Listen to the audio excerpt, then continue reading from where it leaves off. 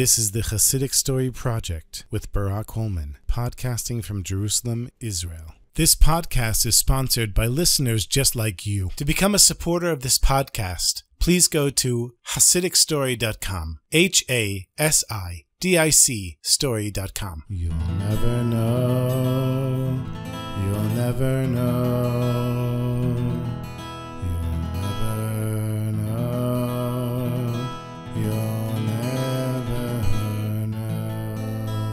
Reb Asher was the newly minted son-in-law of Reb Naftali of Ropshitz, a very close chassid of the Seer of Lublin. And Reb Asher was told that his father-in-law was a great tzaddik, a big rebbe, and that this was a very holy family. So after the wedding was over and the Sheva Brachot were over, he was very excited to see how things worked in the court of Reb Naftali of Ropshitz. On the first morning, he's davening Shachrit, standing next to his father-in-law. The shul is filled with the Hasidim, and all of a sudden Reb Naftali turns around to the Chassid behind him, and he shouts at him, You call that davening? That's not davening! The Chassid is shocked. He puts his talus over his head. He even starts to cry a little bit. And Reb Asher's thinking to himself, Oy vey, does my father-in-law have any idea how he embarrassed this Jew? After davening, there's a group of chassidim that would sit together and learn with the Rebbe, and they're learning very advanced Gemara. One of the chassidim asks a question, and the Rebbe shouts back at him, Why don't you think before you ask a question?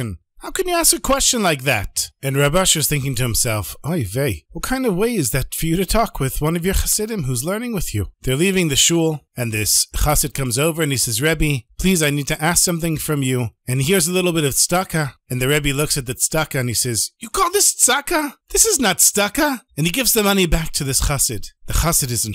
He doesn't even know what to say. And in the meantime, the Rebbe is out of the shul.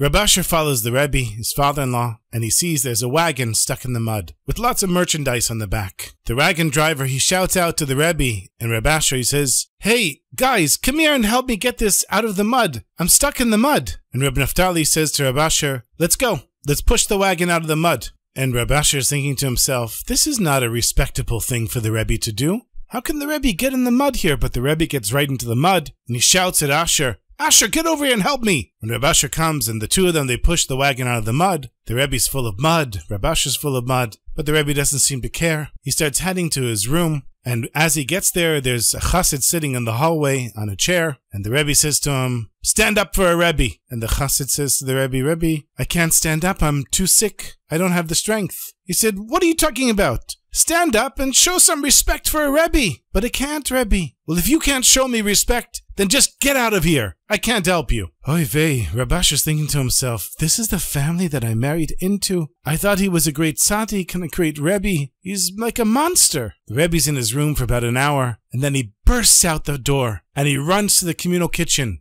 There's a bunch of women there cooking food for the yeshiva and for all of the people that were involved in the institution where the Rebbe was. And he comes into the kitchen and he says, Don't I deserve some milk? I've worked so hard today. Give me a good glass of milk. And Reb thinks to himself, What kind of Rebbe is this that he cares about the physical world? He's supposed to be beyond that. The Rebbe's so spiritual, but here he craves some milk and he comes and shouts at the ladies, Give me some milk. What's going on here? He really doesn't understand. And just then this woman comes in and she says, Rebbe, please, you have to help me. I gave birth to twins and I'm breastfeeding them, but I don't have enough milk to feed them both. Rebbe, please give me a bracha that I'll have enough milk. And the Rebbe looks at this woman and says, Go home. Everything will be fine. Reb Asher thinks, okay, this is really too much, you know.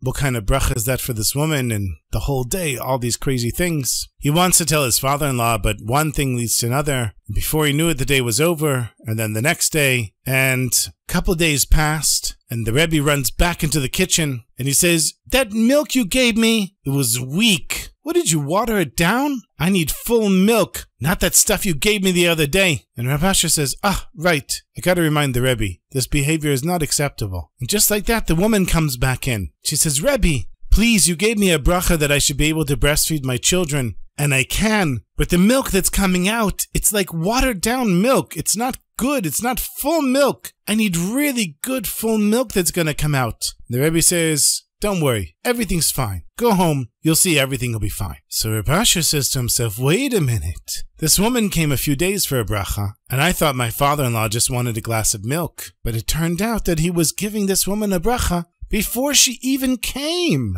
And here he comes back and he says, The milk you gave me, it's like watered down, it's weak milk. And then this woman says the same thing. And he says, Go home, you'll be fine. So Reb Asher says to himself, Okay, I gotta find out what's going on here. In the morning, after davening, he goes to the guy that the Rebbe yelled at. He says, Tell me, what happened after the Rebbe yelled at you? He said, It's the craziest thing. For months I've been davening for my son to have a refuah shlema. He's been sick, for him to recover. And I've been davening and davening. The Rebbe yelled at me, You call that davening?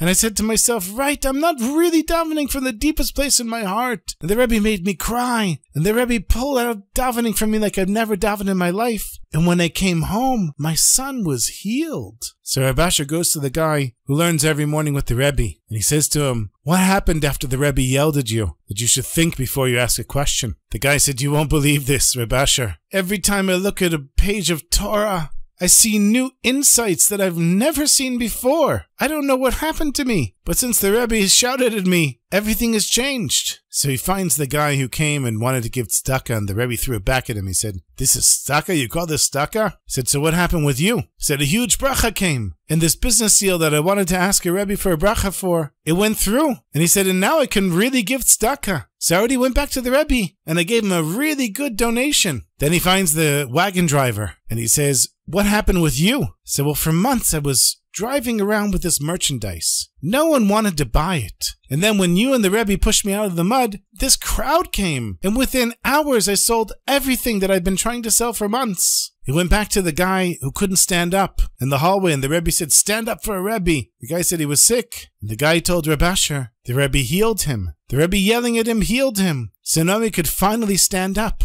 and show the Rebbe the respect he deserves. So now Reb understood what happened with the woman and the milk and all of these people that it seemed like the Rebbe was yelling at. It wasn't that he was yelling at them. He needed to hide the way he was bringing the Shefa, the abundance and the blessings into the world. And not only did he hide it, he also did it in a way where he knew in advance exactly what every person who approached him needed. And after that, Reb realized what he thought was holy wasn't close to where his holy father-in-law held. And from that point on, he never had another negative thought about his father-in-law and never mentioned any of this to him.